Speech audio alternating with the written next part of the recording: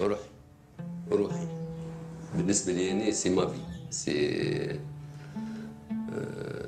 واحة هي تصور أنت الإنسان كان في صحراء في رمال في فراغ. واحد حتى يلقى ماء وخضرة ونخيل وأشجار مثمرة يلقى روحه في جنة.